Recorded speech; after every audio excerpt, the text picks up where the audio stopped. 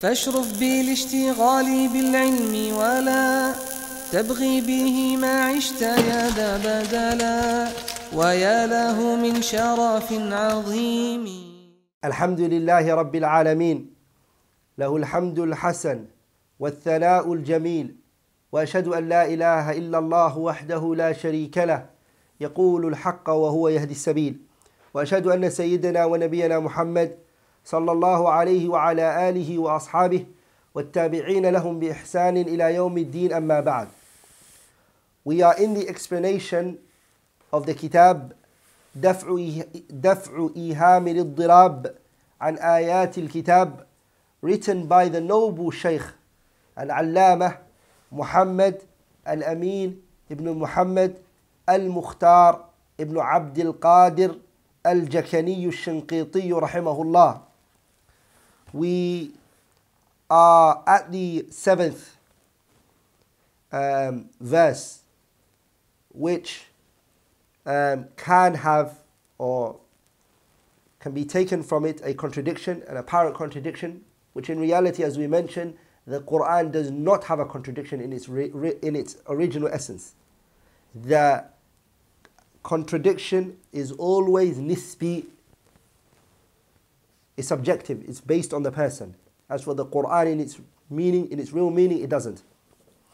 From those verses is the one the Shaykh brought is قوله تعالى the statement of Allah صم بكم عمي فهم لا يرجعون The Shaykh says هذه الآية يدل ظاهرها على أن المنافقين لا يسمعون ولا يتكلمون ولا يبصرون وقد جاء في آيات أخر وقد جاء في آيات أخر ما يدل على خلاف ذلك كقوله تعالى ولو شاء الله لذهب بسمعهم وأبصارهم وكقوله وإن يقولوا تسمع لقولهم أي لفصاحتهم وحلاوة ألسنتهم وقوله فإذا ذهب الخوف سلقوكم بألسنة حداد إلى غير ذلك من الآيات. ووجه الجمع ظاهر وهو أنهم بكم عن النطق بالحق أنهم بكم أنهم بكم عن النطق بالحق وإن تكلموا بغيره صم عن سماع الحق وإن سمعوا غيره عمي عن رؤية الحق وإن رأوا غيره وقد بين تعالى هذا الجمع بقوله وجعلنا لهم سمعا وأبصارا وأفئدة. الآية لأن ما لا يغني شيئا فهو كالمعدوم والعرب ربما أطلقت الصمم على السماع الذي لا أثر له ومنه قول قعنب بن أم صاحب صم إذا سمعوا خيرا ذكرت به وإن ذكرت بسوء عندهم أذنوا. وقول الشاعر أصم عن الأمر الذي لا أريده وأسمع وأسمع خلق الله حين أريد. وقول الآخر فأصممت عمرا وأعميته عن الجود والفخر يوم الفخار. وكذلك الكلام الذي لا فائدة فيه فهو كالعدم.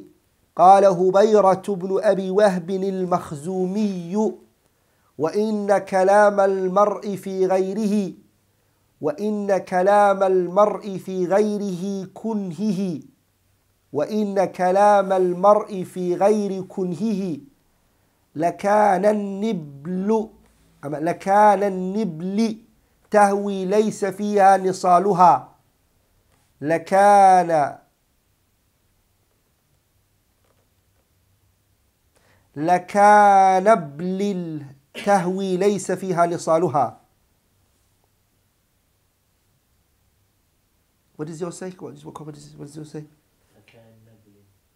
No.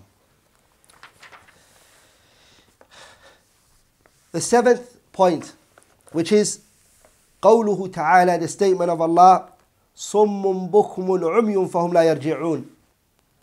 صم, they are deaf.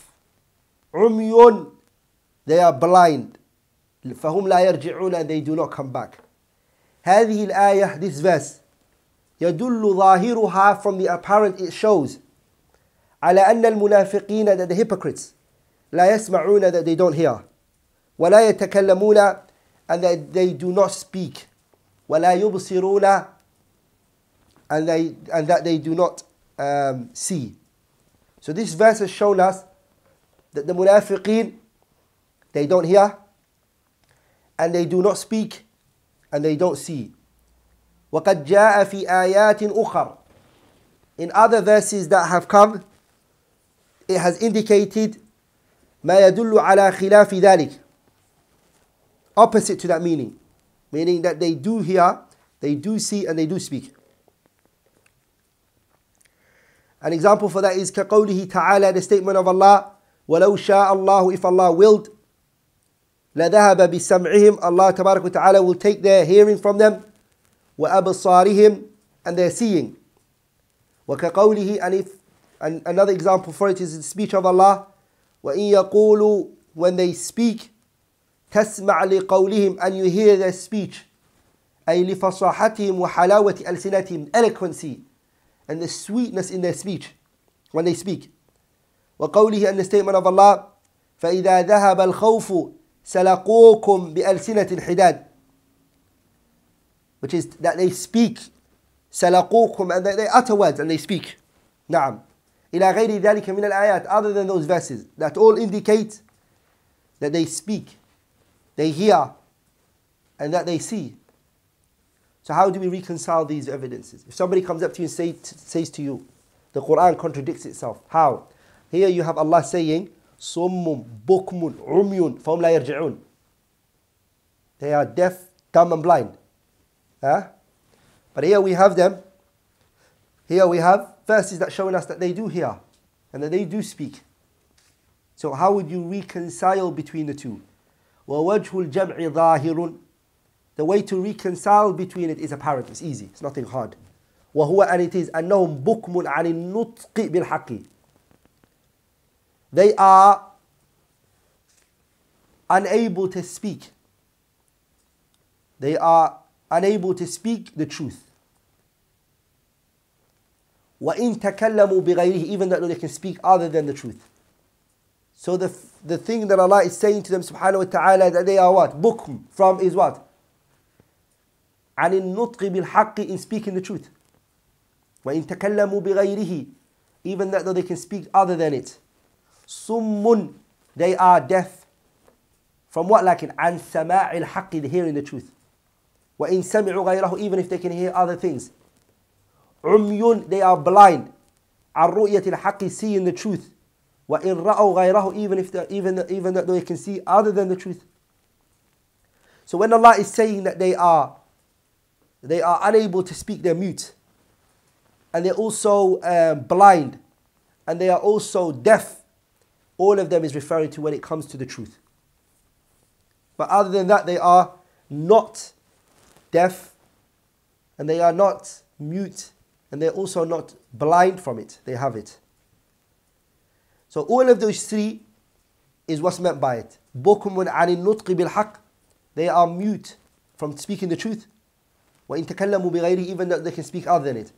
صُمٌّ عَنْ سَمَاعِ الْحَقِّ They are deaf from hearing the truth and they are وإن سمعوا غيره عمي عن رؤية الحق they are blind from seeing the truth وإن رأوا غيره even that they can see other than it وقد بين تعالى هذا الجمع بقوله all of those three Allah has already told us in one verse that is what's referring to is the truth which is قوله تعالى the statement of Allah وجعلنا لهم سمعا we have made for them what hearing وأبصارا and we've also made for them what?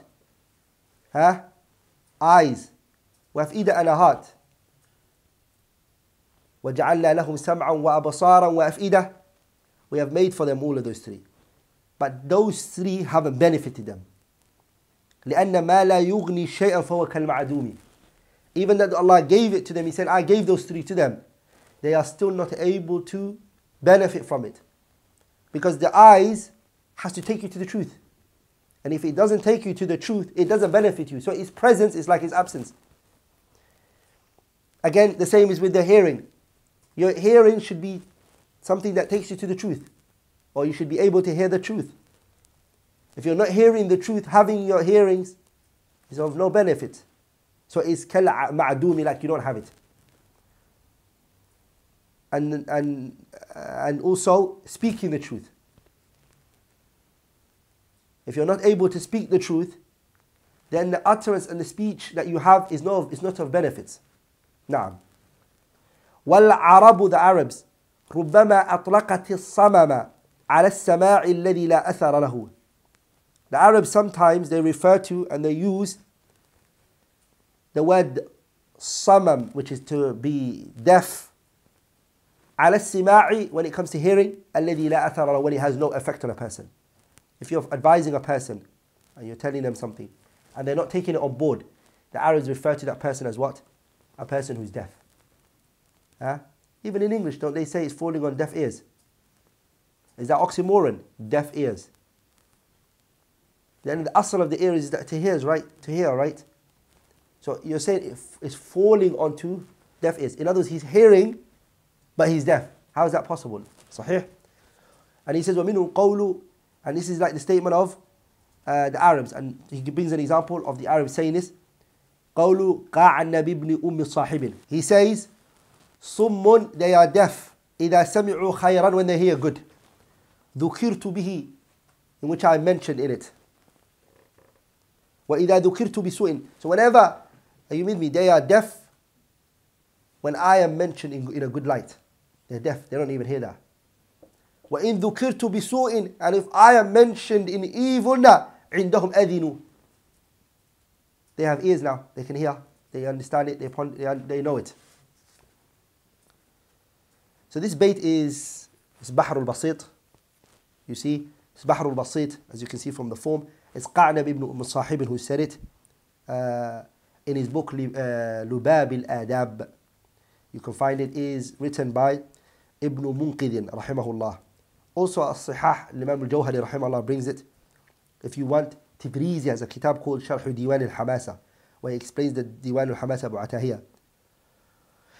The name Ummi Sahibina is his mother's name. His father's name is Damrah. His father's name is Damrah. Also, there's an actual book written, written by Ibn Habib. Rahimah, Ibn Habib wrote a book. Uh, a book, he wrote a book which he called it من نسب إلى أمه من الشعراء. People who have been named after their mothers from the poets. Uh, Abdussalam Harun, who was one of the muhaqqiqeen, scholars who specialize in tahqiqat of kutub, is a book called Nawadir al-Makhtutat. He also brings this in it.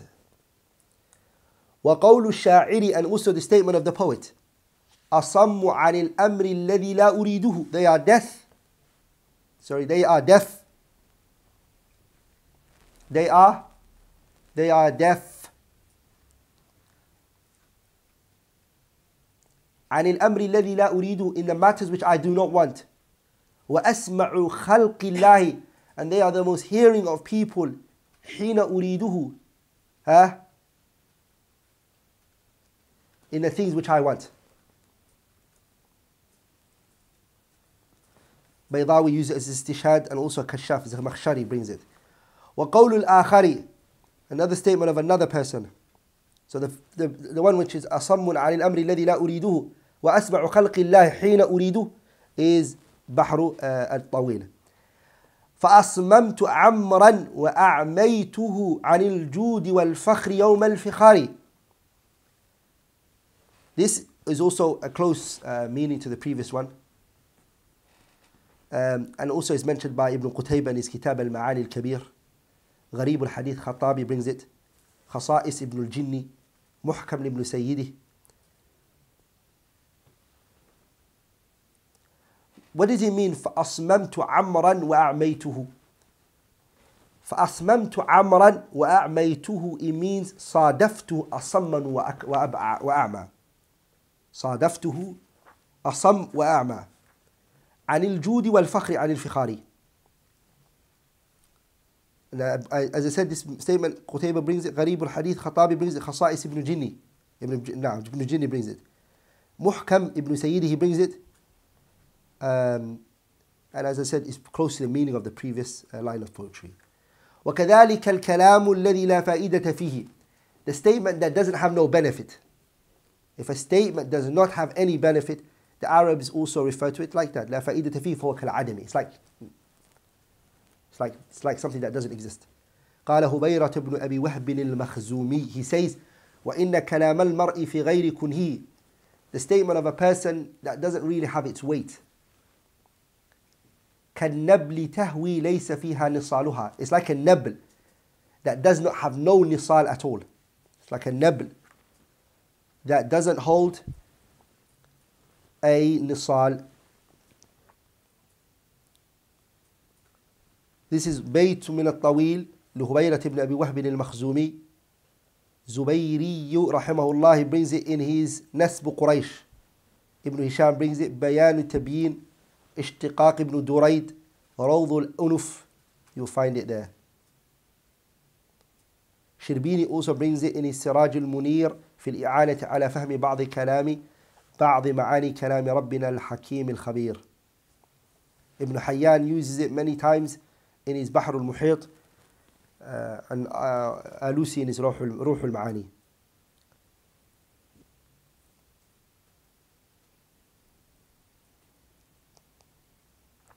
So that's the evidence. That's the that's the re- response for the first evidence. With the first, uh, sorry, the seventh uh, apparent contradictions that are put forward.